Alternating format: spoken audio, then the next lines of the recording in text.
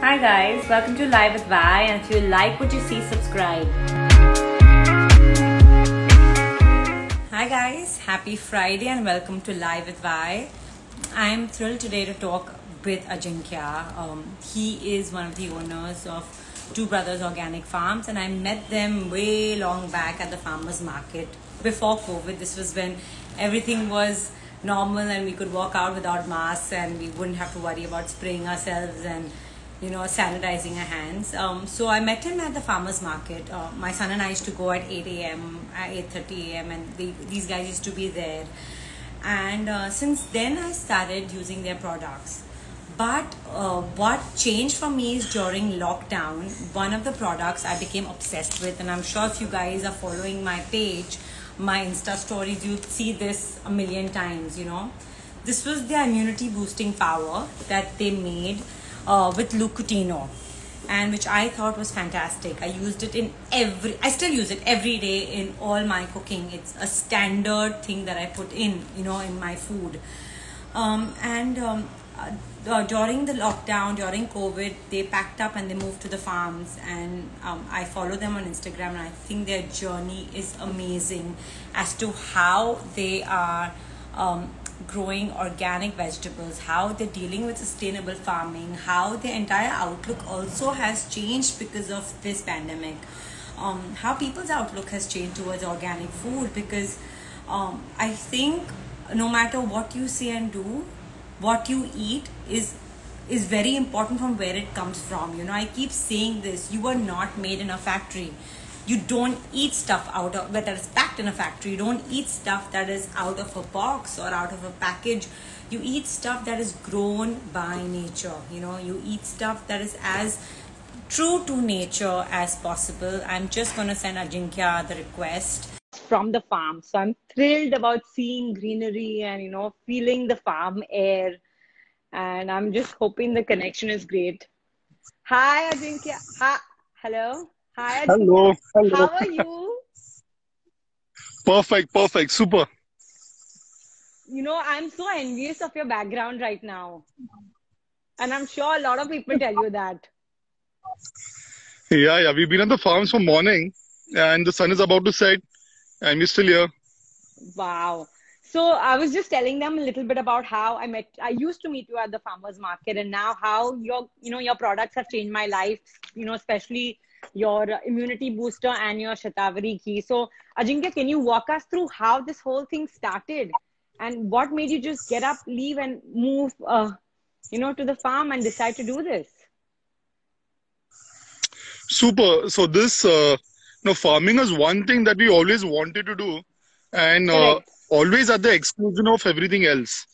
So it started. It uh, it was a it was a latent interest which gradually uh, made us come here. So me and my brother Satyajit, we together run this farm. It's a 32 acre farm that we run out here. Uh, we have a 60 70 cows, and uh, their fodder, you know, the cow dung and the cow urine is the only input we use to the farm. We use Correct. to the soil no synthetic fertilizers, no urea, no uh, insecticides, no pesticides. So I want to so ask you this question because a lot of people ask me this. Why does it make so much of a difference if we don't use pesticides? Why does it make so much of a difference if we don't use urea? How is it bad for a, a product to because I'm not eating the pesticide directly. So how is how is it bad in my product? So uh, you know there are multiple ways of looking at it. One is uh, for your personal health and the others also for the environment.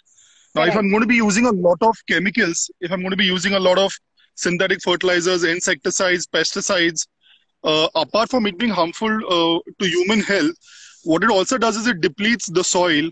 It uh, all all these chemicals leach uh, leach out to below the soil table to the water table. Uh, that's what uh, gets into your you know even the water you drink in cities right. uh, it pollutes the water it pollutes the soil it pollutes the environment so at a very deep level it affects everything Correct. but if you're talking of food you know uh, two to three teaspoons of urea is enough to kill a person. If i have urea uh, in in a large quantity or if i consume insecticide pesticide in a large quantity it's enough to kill a human being. Right. now we're not doing that directly but we're applying that to the soil we're applying that to our uh, fruits our vegetables and then that's what gets into the food and you eventually consume it through the food. So it's happening very indirectly and uh, of course it has a it has a direct impact on you uh, we're seeing it with uh, with the micro creatures of the farm. So all the earthworms that we that we have you know you take a few uh, chunks of urea and you put it on an earthworm it dies. Right. Uh, you apply insecticide pesticide to a leaf on the uh, on the farm to a crop on the farm and that insect that pest that fruit fly will die if you use Correct. a chemical insecticide pesticides. So these uh, i mean any chemical uh, is is not safe for the farm. When it's used in smaller quantities uh, it kills smaller beings it could be insects pests but at some point it's going to get into your food system so which it it- which it is. affects your ecosystem right of the farm? Of the farm yes. I mean uh, the one most important thing at the farm is soil. So you know as a farmer i could say i could say i'm growing uh, an x crop or a y crop. I could say i'm a banana farmer or a pomegranate farmer or a grape farmer or a sugarcane farmer but you know on a long term basis as a farmer my responsibility is to increase the fertility of my soil. My soil if my soils are fertile automatically whatever i grow on that uh, soil is bound to be of a good quality of good nutrition and it's bound to be medicinal. Now when i use a lot of chemicals i am uh, hampering that one denominator in farming that uh, means the most to farmers Is which is soil. Got it. Correct. So uh, yeah i mean uh, on a on a temporary basis you are affecting that particular crop that you're growing on a permanent basis you are hampering the soil as a farmer So Which then is why don't why don't all farmers not use pesticides and urea and stuff? What how does it make a, how does it how is it how is your you know sustainable and eco and organic farming different from what they do? Or why do they do what they do?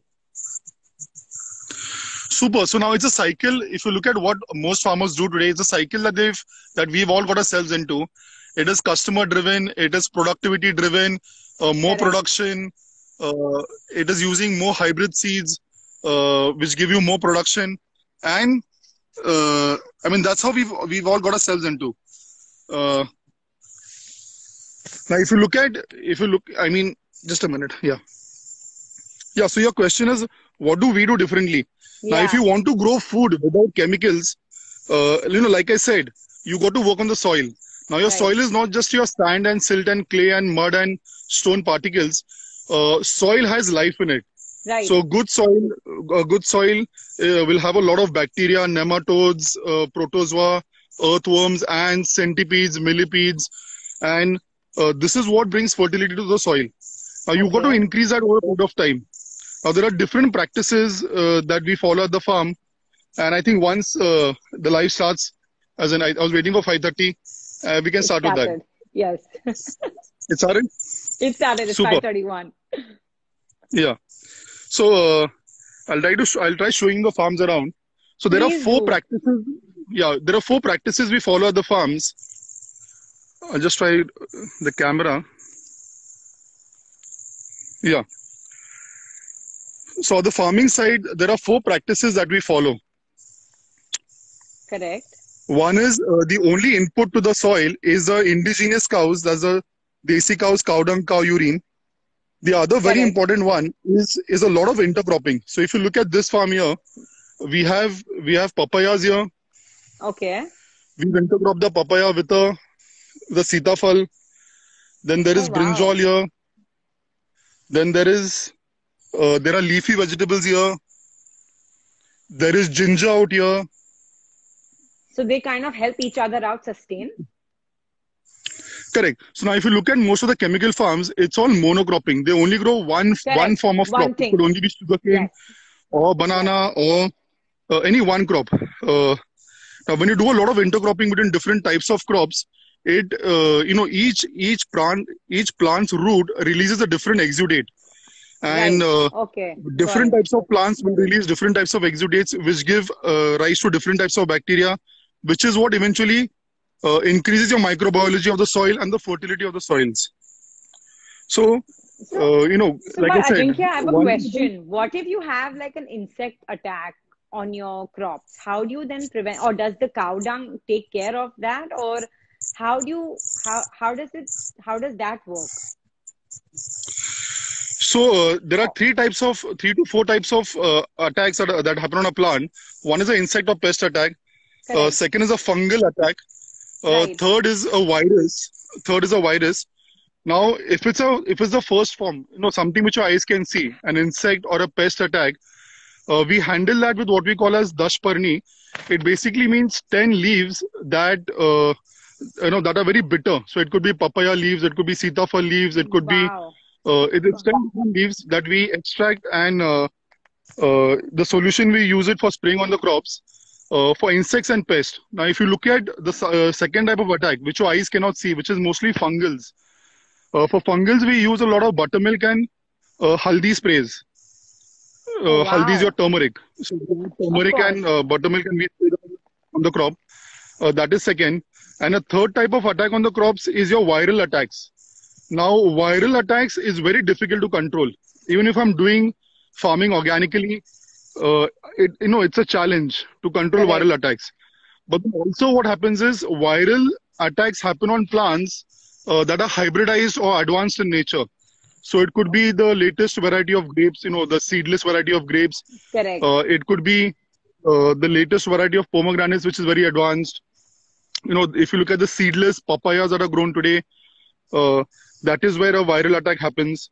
So yeah, if you if you're looking at you know if you're asking in terms of uh, pest attack, insect attack, and all of the of the farms, uh, no, that is one way. remedies. But only natural remedies, but something which is more deeper. If you really want to control, or if you want to have an integrated pest management, uh, the right thing would be to always plant the old indigenous varieties of that particular crop. Ah, So let's say if I'm growing wheat, if I'm growing wheat, uh, I have an option of growing the advanced variety of wheat, which gives me more production as a farmer, or I can grow the old indigenous variety of wheat called as emmer wheat or khapli wheat. Now, Khapli, uh, these indigenous these indigenous crops will have lesser production as compared to the advanced varieties. But Got these uh, these crops have a very good immunity, so they can withstand Right. pest attacks, they can withstand insect attacks, fungal attacks, viral attacks. So they themselves have a very good immunity. So uh, one way of looking at it is also to plant crop varieties that are indigenous, old in nature. Got it. So then they can withstand. Their their DNA is already prepared for all of that, or whatever. They are Correct. they are moni- you know, Correct. The DNA is already prepared. Also, it is Correct. more nutritional. So if you, if you compare, uh, let's say the emmer wheat, uh, the wheat that you get in the market today, the hybrid variety or the advanced variety, it has a lot of gluten which your body cannot digest.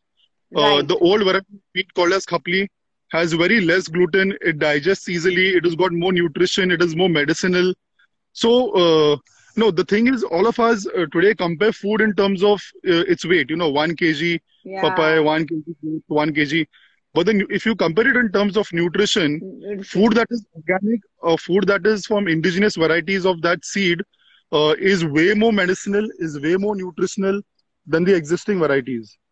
So you could get bigger lemons today. in the market. Yeah. So you could get bigger bigger lemons in the market today with all the R&D happening uh, with the seed varieties. But the old limbu that was in the market, which was small, that taste, uh, the juice taste, is, and I mean, is more medicinal, is more nutritious, is more tasty. So all of this. Absolutely. So yeah, coming back, Uh, Ajinkya, coming back to your question, sorry, coming back to your question, I mean, this is, this is how we handle. Uh, it's an integrated pest management system that we follow at the farms. So it is uh, planting indigenous varieties. Uh, it is doing a lot of intercropping. Uh, it is uh, using dashparni, using panchagavya, different types of sprays, and then that's how we do it. So it's pretty similar to if you say if I had a cold and cough, have I would use Ayurvedic herbs and or you know natural herbs that you get in your uh, kitchen the same way you treat uh, your plants and trees, right? It's it's all organic, it's all natural, it's all what you otherwise would even consume to Correct, to correct. get rid of correct. So Ajinkya, I have to tell you, my favorite product, okay, especially in this lockdown, is your immunity boosting power. I don't know. If, I think the camera's turned that side, but uh, how did you guys come Yeah. up with that? that? What was the whole idea? So I love all your products. I have all your products because I, I use them on a daily basis. But uh, how did you guys i even want to talk about the the shatavari ghee because i for me personally it's been fantastic. But uh, i want to talk about how did you guys think of coming up with these products? You know what was your idea behind it? Obviously um, you guys are organic farmers and you want to but usually we, we always think a farmer to uh, wheat fruits plants you know to come up with such amazing like your laddus. They are fantastic. My son loves them. The immunity boosting power your shatavari ghees your your jaggery peanut butter. It is such it's awesome combination of you know as desi as you can get, which is jaggery are good, to peanut butter as western as you can get. What was the idea and how did you guys come up with those products which you know work with both our mindsets? Whether you wanna be healthier or whether you want to be western and cool, your kid can have a peanut butter with good. You know you can't get better than that. How did you guys think of that or come up with that? What was the idea behind it? Okay, so if you're coming to the choice of products, for us it's always been soil upwards. So our farming okay. or our farm is, is in a belt that is drought prone. So uh, in the months of February, March, April, May, uh, right. there is a acute water shortage. We have a challenge uh, managing uh, the water at the uh, no at the farms. So uh, we were always we were we always grow crops that are that are robust, that need less water, that can withstand extreme temperatures at the farm. Uh, I'll, ta- I'll, I'll come to the journey of how we arrived at the products, but it all right. started with what is good for the farm, what is good for my soil. You know, if I'm in a if I'm in the northern part of uh, of India, I could be growing potatoes, but I'm in Correct. I'm in Maharashtra. I'm in the western part, uh, the pocket that I am. Uh, here, generally, people grow papayas, they grow tur dal, they grow uh, sugarcane. We grow a lot of pomegranates, a lot of peanuts, uh, groundnuts is is being grown out here. So we started off uh, by growing what is right for the soil, for my climate, my geography, my local uh, uh, climate. Uh, we planted that, and within that, we consciously made an effort that whatever we plant, it should be of the old indigenous variety, not of the hybrid okay. or the advanced variety. Now Correct. this, uh, uh, while no, while while doing the farming like this, the output is very less. The productivity is very less. if okay. if I grow like I said, taking the wheat example again, if I was getting a 2x, 3x uh, production uh, with the advanced variety of wheat, with the emmer right. wheat, I just get 50% or 70% of that production. Uh, if I look at papaya, if I grow the advanced variety of papayas, I get uh, twice more production than I get with my indigenous variety. So all this uh, put us in a position that you know if we're going to be selling these fresh fruits and vegetables in the market, uh, there's no way we can be sustainable at the farm because you know at the markets uh, most of the fruits get the same price, whether it's grown organically right. or inorganically at the APMC market. Right. So uh, we first started planting by what's right for the soil, and then once that harvest was ready, you know, for example, with the uh, groundnuts. So right. with the groundnuts, what you do after the groundnuts are harvested, what all can we do with it? So we can make ah. groundnut uh, wood pressed oil. We can make groundnut peanut butter from it. We can make groundnut chikkis from it. We can make groundnut chutney from it. Uh, it's a local chutney that's made around uh, this part of uh, Maharashtra. So uh, groundnuts is one example. Similarly, with right. uh, wheat, uh, we can we uh, so after harvesting the wheat, we're making atta from the wheat. Uh, if you look right. at, so you know all, all whatever we all whatever we farming, we try to then process it into a plus one you know plus one product. So basic form Correct. of that crop so there's no with basic processing no wastage. So same with sugarcane. If we have sugarcane, instead of selling the sugarcane to some factory nearby, uh, we make jaggery from it. Uh, now, when it came to processing, we consciously, uh, you know, consciously made a decision not to use any form of chemicals for processing. So no fillers, okay. no binders, no chemical agents, uh, no preservatives, uh, nothing. If you look at most of the peanut butters in the market today, you know, it's just 65% peanut butter and 35% of it is all fillers, binders, uh, absolutely. preservatives, your oils, your sugars, your preservatives, your absolutely, Correct. absolutely. So we thought, you know, let, let's not do that. Uh, we just kept it peanut butter. I mean, simple. If it's jaggery peanut butter, it's just jaggery and peanut butter. So in Correct. each, you know, in each form, if it is, if it is attas, uh, if it is all the flows, it is all stone grounded. If it is oils, it is all wood pressed. Uh, if it is okay. sugarcane, jaggery, the jaggery is made without any chemicals.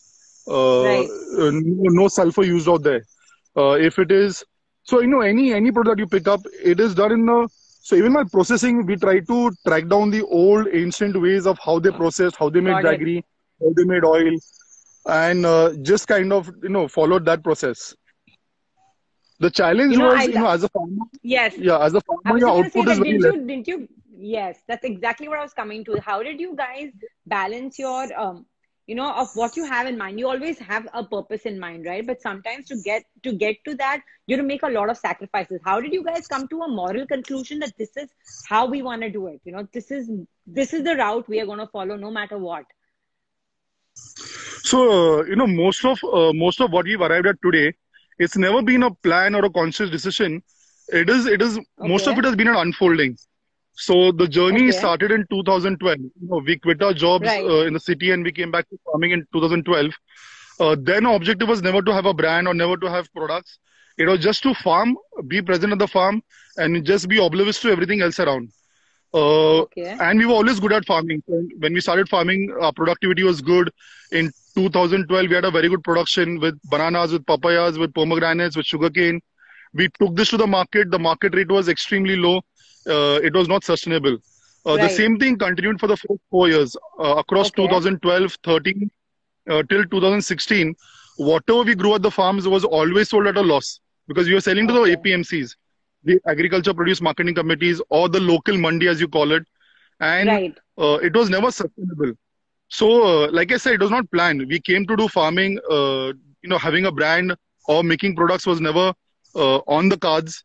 And uh, after running into losses for the first four years, you know, we so we had papaya as a crop. We took that to the market, and uh, it was close to a 1,000 kgs of papayas, and the ongoing rate was just Okay. a four five rupees a kg, which meant, just a 4,000, 5,000 for that lot of uh, fruit uh, which was not even which was not even covering our expenses for traveling transportation so uh, you know from that point onwards we thought you know we we we growing something the right way according to us we were growing gold. I mean the kind of uh, uh, interest love study that was going into it Absolutely. uh, we, we loved what we were doing. And the marketing part of it was never happening. The local markets it was never sustainable. So Right. 2016 17 onwards we started reaching out to customers. So i think we had uh, we had pomegranate as a crop. And uh, we just kind of uh, made us made a whatsapp message and circulated it amongst our friends relatives uh, people around uh, you know just kind of explaining how we've grown this pomegranate uh, and what's the specialty of it and we received some 300 orders uh, across bombay and pune Okay. and uh, these 300 orders, we personally went to deliver to all these customers. And uh, while delivering the pomegranates, we kind of explained to them that how you, as a customer, the choice What- you make, how it affects the farmers, affects what you. they grow, their soil, uh, ecology, environment at the farms, uh, the flora, the fauna. Uh, you know, because eventually trade dictates what farmers grow. So while a farmer would like to grow organic, if the customer prefers a broccoli, the customer wants a hybrid fruit, the customer wants a cheap food, he will find ways uh, to get more production and to give you cheaper food, to give you uh, food that is not grown in his local climate by putting a net shed, by putting a false, uh, you know, ceiling around the farm, controlling temperature. But then, uh, you know, all of this uh, is is not right. It's not the right kind of farming. So we we explained all this to the customer, and from those 300 uh, people, I think the word of mouth started spreading. So I mean, until today, there's there's no brochure, there's no pamphlet that we've been uh, we we'd ever printed. It's it's been mostly by word of mouth, and uh, today uh, we've got customers across 34 countries, close to 676 cities outside India, and all of this has happened by word of mouth.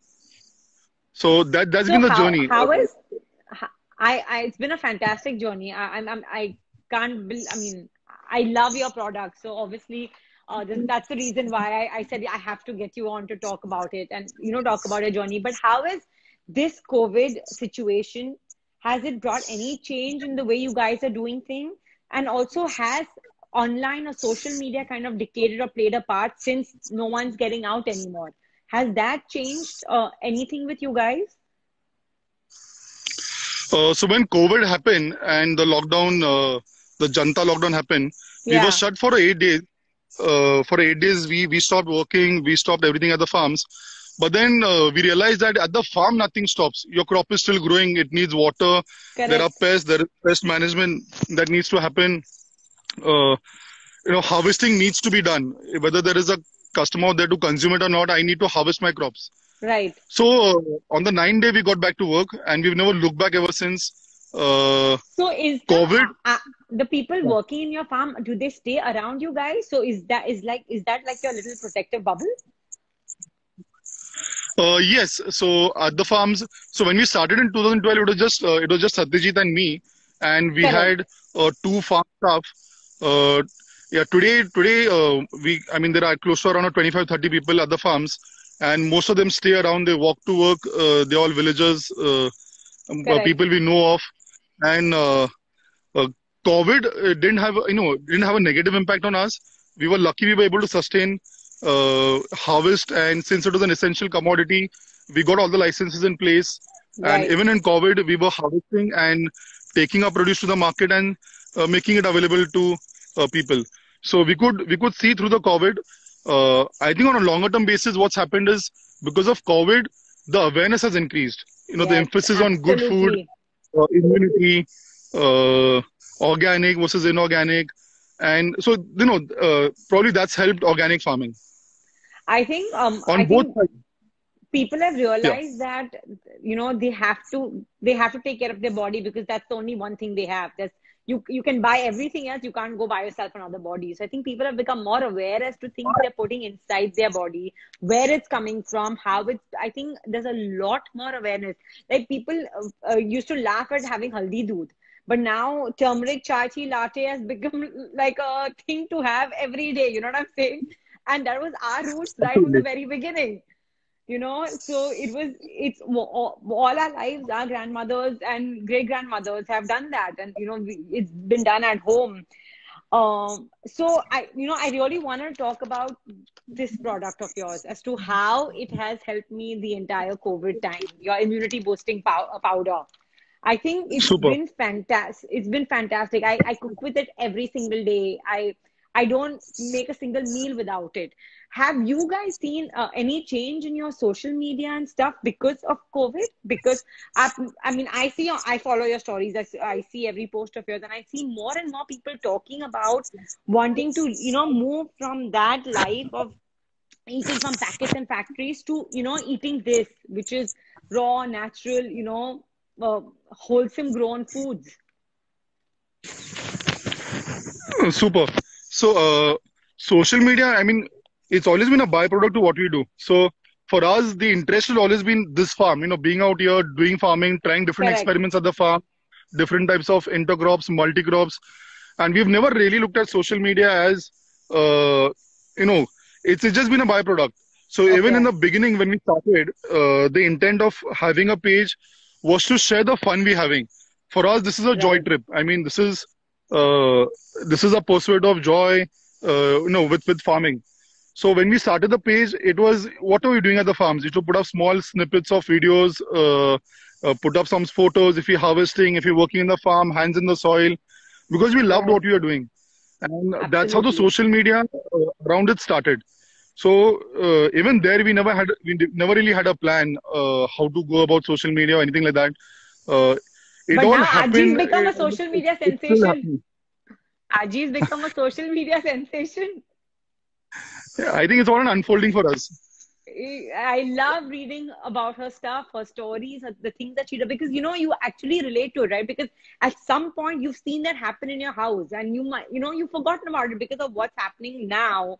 You might have forgotten about it, or your grandparents would have passed, but you the minute you read that, it go takes you back, you know, to oh my god, yes, I should do that. Oh my god, my grandma said don't waste the top of the day, and you've forgotten about completely till someone actually talks about it, you know.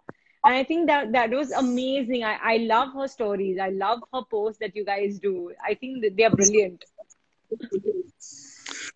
correct. So we had, uh, I mean, I, Aishwarya, uh, uh, it's Aishwarya's Aji. Aishwarya had come to the farms, uh, I think almost a year's time back. And uh, okay. I mean, Ajji, like said, she's phenomenal. Uh, yoga at this age, fitness at Absolutely. this age, uh, and the wisdom that she had. And we thought it, it needs to be tapped, it needs to be shared. Uh, this is something that you know people need to know. And yeah, that's how we did the post on Ajji. I I I, so I love. In the, villages, the older people have a lot of wisdom whether it was the older forms of food, older forms of farming, the older people, even older, uh, you know, with all the experiences. even medicinal. Yes. like so much Oh, medicinal yeah. information which you know i hope we don't lose it because there's no there's no way to document or communicate but i think you guys are doing a fantastic job by putting whatever aji does on so even if you've forgotten it or if you've never known about it it's fantastic to read you know and learn Super. We we enjoyed the series. We enjoyed doing it. So are you guys coming up with something new for diwali like new products and i even want to talk about the shatavari ghee if we have time i think we have a couple like five seven minutes so what are you guys doing for diwali are you all doing something for diwali like are you all coming up with a new product new product line because i keep seeing surprise something coming something coming on your page I think there is something. There's a there's a combo coming out. Uh, Okay. New product. Uh, we'll have to wait and see if there's a new product coming up. Uh, but I think we've launched a couple of new products in the past uh, in the past few uh, months. Uh, like you mentioned, Okay. the herbal ghees. So we Yes, we launched. I wanna mean, talk about we that. Experiments. Correct. So the Brahmi ghee, the Shatavari, uh, and the Ashwagandha ghee. Uh, correct can you tell us a little bit about each one and what is the purpose it serves Super. So now, uh, you know, ghee ghee is something we've already making, and we are, we had a lot of doctors, Ayurvedic doctors, reaching out to us, asking us to make all these herbal ghees.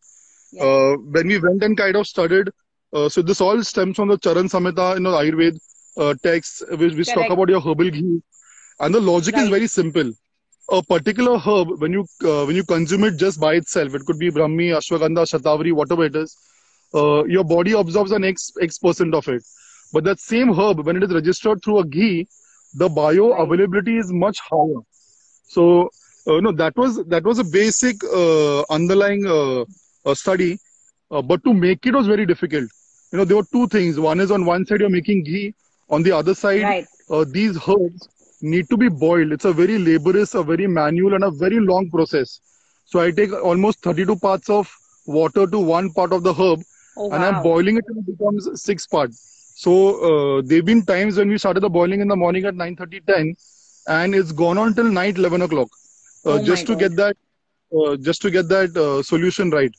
And uh, then again mixing it with ghee, then again boiling the ghee and the herb solution uh, till it becomes one sixth its proportion. correct So it's a lot of boiling, and eventually what you get is a very concentrated uh, uh, in the form of ghee. correct Uh, so yeah, so the basic, you know, it could be any herb. Uh, Brahmi is good for the brains. Uh, Shatavari is good for the female reproductive system. correct Uh, Ashwagandha is good for the male reproductive system. So different. It could be Arjuna tomorrow. It could be Triphala. There are different different herbs. right Uh, but uh, but the basic uh, benefit of it is the bioavailability of these herbs when taken through ghee is much uh, higher. Got it. So your body absorbs a lot more. Like how you have turmeric with pepper. The minute you add turmeric to pepper, your body can absorb turmeric a lot faster and a lot better than having turmeric alone. Correct? The same concept with the herb ghees. Correct. Correct. Absolutely same. So I, I Same I'm, concept. I'm so thrilled and I'm so thankful that we had this conversation. Uh, you know, I'm one of your biggest supporters. In in I, like I told you, right? I have stopped there. It's been Jan. I stopped dairy in Jan. We are in November. The only thing I started having was your Shatavari ghee every morning. And I actually see ma- making a big difference to my body. And I'm so thankful and so grateful for the amazing products that you guys make. Uh, and more than anything, the honest, the honesty with the products are made, you can actually feel them, right? When I get, when I get the, when I get the bag, the box home, it's it's always an excitement to open it because I want to open it, I want to smell the product, taste the product. Like your your jaggery peanut butter, I'm almost done. Is my every evening snack. Every evening with that, be it an apple, be it a banana, be it with chia seeds, be it with you know rolled oats and almond milk. It's my everyday snack. Um, and I really want to thank you guys for doing this and for bringing such amazing products to us. You know, I keep saying that we're not made in a factory. We should not eat products that are made in a factory. And you guys are completely synonymous with things made, you know, at home in the best way possible, in the authentic way possible. So, Ajinkya, thank you so much for doing this. Thank you very much for showing us your amazing farm. And one more thing, is your farm open for public to come and see how you guys work? Yeah, yeah, very much. In fact, we've had Oh, close to a 9,000 visitors till now. Oh wow! Uh, we've had visitors from. How do they contact? Uh, from do a just Yeah, so there is there is a form on the website, a farmer visit form. Uh, you can fill the form and come oh, over. lovely? Uh, we were very slow because of COVID in the last few months. Uh, they, I mean, we've been very choosy with the visitors. But yeah, Absolutely. uh, you're always welcome. You can come over to the farms. We've a lot of people being over, and uh, yeah, it's, would- it's it's your farm. I would love to do that. I would love to get my son to show him how all of this is done. Uh, thank you once again so much. It was lovely, lovely, lovely doing the live with you. Thank you so much, Ajinkya. Thanks. Give say hi to Satyajit from me, and guys, keep up the good work. Thanks a lot. Thanks for having us over. Thanks for covering a topic like farming, and uh, super. I, Thank you. I'm, I'm so passionate about that. I had to talk about it. Thanks a lot, Ajinkya. Bye. Have a good night. Bye, bye. Hey guys, uh, thank you for logging into Live with Vai. Uh, subscribe to see more videos.